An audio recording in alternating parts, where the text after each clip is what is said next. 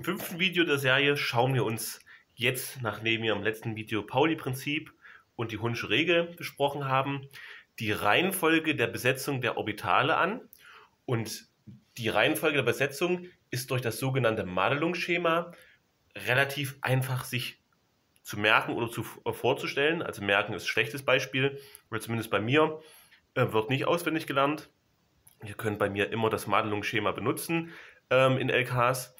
Und aber man kann sich das relativ schnell herleiten, wenn man sich Folgendes überlegt. Man macht eigentlich ein Koordinatensystem. An dieser Achse, habe ich den Pfeil vergessen, ähm, werden die Hauptquantenzahlen, diesmal aber von oben nach unten eingesetzt, also Elektronenschalen oder Hauptquantenzahlen 1, 2, 3, 4, 5, 6 und bei 7 hören wir auf. Und unten auf der x-Achse ist die Nebenquantenzahl L schreibe es mal hin, Nebenquantenzahl, ähm, von 0 bis 6 aufgelistet. Das sind die sogenannten Unterschalen, wenn wir uns das vorstellen wollen. Und dann tragen wir einfach ein. Oben, fangen wir bei n gleich 1 an, hat er nur ein S. Und dann bei 0 ist gleich 1S, 2S, 3S, 4S, 5S, 6S, 7S. Weil Nebenquantenzahl 0 Unterschall können nur die einen oder die s-Orbitale sein, was ein einzelnes Orbital dasteht. Wenn die Nebenquantenzahl 1 ist, wissen wir, wir haben eine dreifache Aufspaltung, weil dann die Magnetquantenzahl m ist minus 1, 0 und plus 1. Deswegen haben wir die drei energetisch identischen p-Orbitale. Ich zeichne das hier nochmal um. Das ist s-Orbital und das sind die drei energetisch gleich gelegenen p-Orbitale. So, 1p gibt es nicht, aber 2p, 3p, 4p, 5p, 6p und 7p.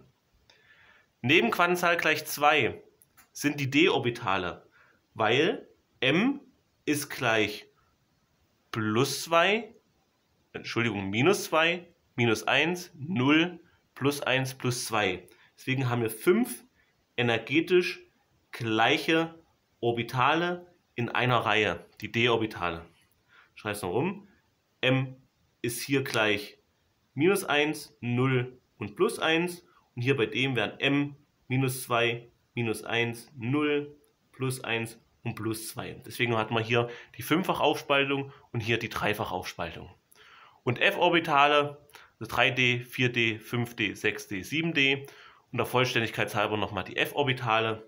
Und die f-Orbitale mit m gleich minus 3, minus 2, minus 1, 0, plus 1, plus 2 und plus 3 haben wir eine siebenfache Aufspaltung, also sieben energetisch identische Orbitale. 2, 4, 6, 7.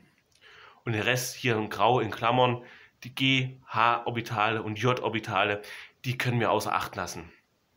Also wenn wir die s-Orbitale, die p-Orbitale, die d-Orbitale und die f-Orbitale eingetragen haben, gehen wir jetzt mit dem Rotstift ran und gehen von rechts oben immer schräg nach links unten. Also zunächst wird das 1s besetzt.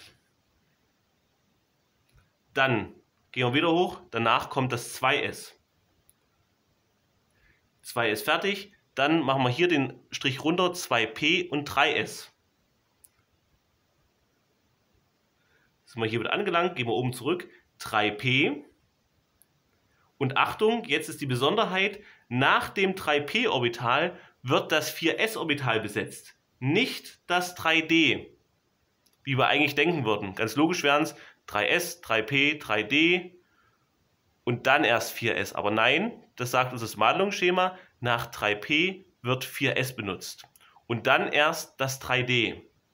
Dann geht es weiter mit 3D, 4P und dann das 5S schon. Auch eine Besonderheit.